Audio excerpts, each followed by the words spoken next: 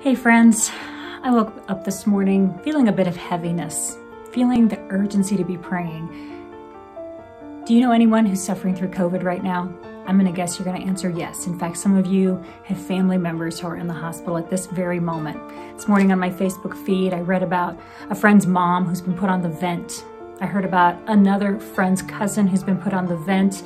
So much to be praying for, so many reasons to be worried but God does not want us to be worried. So for just a really quick moment, um, I'm going to take some time to read some scripture.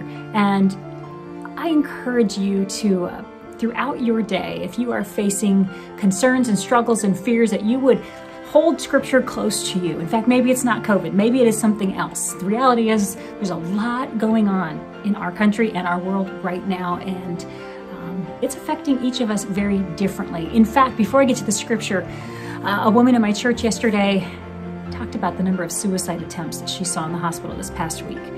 Um, she's in the medical field. There's a war. There's a war underway, fighting for our souls. And Satan is coming after us, trying to get us with, with, with medical issues and in our minds and in isolation and all of these things. And we need to stand firm on the word of God. And so I just want to I just want to read some Bible passages to you because this is what I do in the midst of my crises. And I hope that it'll be a comfort for you as well. Isaiah 41:10. So do not fear, for I am with you. Do not be dismayed, for I am your God. I will strengthen you and help you.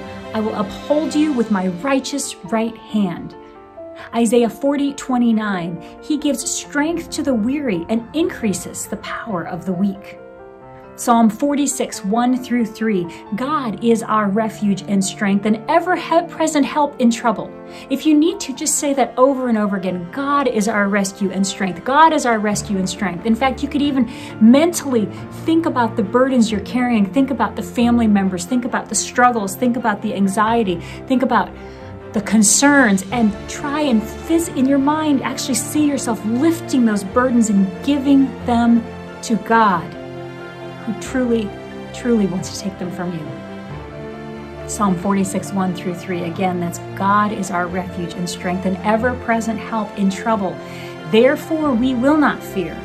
Though the earth give way and the mountains fall into the heart of the sea, though its waters roar and foam and the mountains quake with their surging, God is still our refuge and strength. 2 Thessalonians 3:16 Now may the Lord of peace himself give you peace at all times and in every way. The Lord be with you all. And one of my favorites, Psalm or Philippians 4 6, do not be anxious about anything, but in every situation. Every situation, by prayer and petition, with thanksgiving, present your requests to God. What's on your mind right now? What are you struggling with? What are you concerned about? Maybe you're not struggling. Praise God, but you know someone else who is. Who can you be praying for right now? How can you be a positive encouragement to those around you? I really think that's important. I really think we need it. We've got the government situation happening right now. We've got troops in Washington, D.C. We're hearing more and more things about COVID. We hear things about the vaccine. Here at the TV, at TV 44, we've had our own struggles and difficulties this week when our own Michelle Brockert and her husband John were killed by a truck that ran into their house. And we are suffering from the loss of a very close friend. And so I want to remind you that if you are struggling, you can contact us. You can contact us through our Facebook page. You can call our prayer line 419 339 3000. But write down these verses. Go back and watch this video again. And if needed, just write down the scripture passages Write out the verses, carry them with you so that you can read them, you can hold them close to you, you can have them with you at every moment. When you physically, mentally, and in your physical mind don't know what to do next, know that God does have a plan. Even if we can't seem like we can see it, God does have a plan. So join me as I'm going to pray right now and um, just want to say thank you for taking a little bit of time out of your day to uh, share these scripture verses with me. Heavenly Father, I thank you that despite every situation that appears to be dark and without without an ability to turn it around, we know you can turn things around. Thank you, God, that you are the God of making impossible situations become possible. And thank you that in all things we can trust you completely and fully to the absolute extent beyond anything our minds can even understand.